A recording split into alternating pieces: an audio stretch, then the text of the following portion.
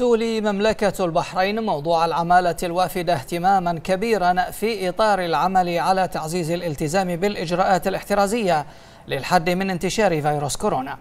وفي هذا الإطار قامت المملكة بجملة من الخطوات الإنسانية التي تسهم في تعزيز صحة العامة والسلامة بين أفراد هذه العمالة. رمضان كريم. رمضان كريم. كيف حالك يا أخي؟ أرجو أن تكون بأحسن حال. أنا هنا لتقديم المشورة لك حول كيفية الحفاظ على سلامتك من فيروس كورونا من خلال ارتداء القناع والقفازات أثناء الذهاب إلى الأسواق والمتاجر والتأكد من الحفاظ على التباعد الاجتماعي وتجنب الذهاب إلى الأماكن المزدحمة.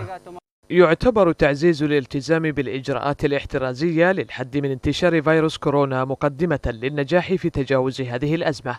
التي ضربت دول العالم أجمع فيما سجلت مملكة البحرين بتعاملها الإنساني والمجتمعي مع الأزمة تقدما شهد له الجميع حيث وفرت الفحوصات والعلاج المجاني لكافة المواطنين والمقيمين على حد سواء بالإضافة إلى توفير مساكن مؤقتة للعمالة الوافدة ضمن جهود تخفيف كثافة العمالة في مناطق سكنهم المكتظة فضلا عن عديد من الإجراءات ذات الطابع الإنساني والمجتمعي المتقدم.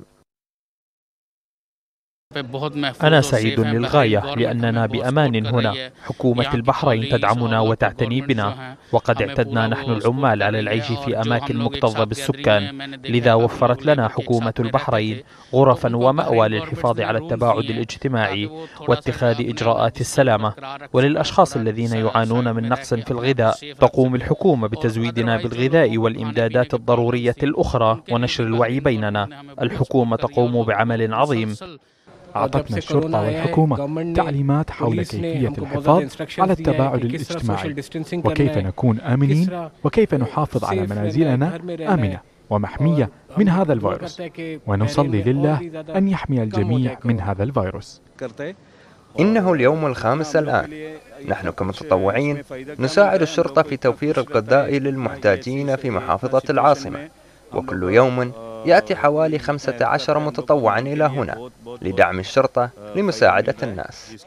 الأمن جيد في البحرين والشرطة تزور أماكن إقامتنا والأسواق وتقدم لنا إرشادات حول كيفية الحفاظ على سلامتنا من هذا الفيروس. وقد قدموا لنا الكمامات والمطهرات وعلمونا كيفية الحفاظ على البعد الاجتماعي وتجنب التجمعات.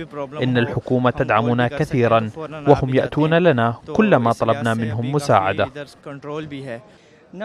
الآن الحمد لله حان وقت الإفطار. والحكومة توزع الطعام على الناس وتعمل على السيطرة على الفيروس. الحمد لله. إن معالجة الأزمات له أصول وأطر محددة ويبقى الجانب الإنساني عنوانا يعكس التقيد بحقوق الإنسان ومحاولة تقديم نموذج متميز. يؤكد أن حقوق الإنسان ممارسات ووقائع على الأرض وليست أقوالا نظرية. وهكذا كان التعامل البحريني المشرف مع الوضع الراهن.